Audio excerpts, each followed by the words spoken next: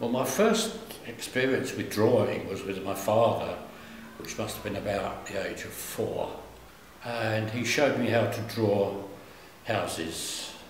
And a teacher, Miss Tooth, introduced him. She said, This is Lawrence Gowing, he's come to talk to you about art.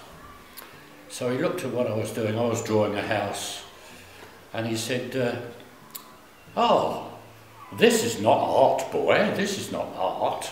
I was quite taken back by this and uh, didn't listen to much of what else he said. But uh, I remember that, I still can remember it distinctly. I took up the trade of engraving, so I was at the same, with, with the same uh, company for seven years, very demanding and uh, really not, for me, very artistic after I retired, I went back to actually drawing a kind of scribble, which I quite recently realised was the path of a fly. If one can imagine the path of a fly moving when it comes into a room, very fast, changes position, instantly, can reverse, do anything.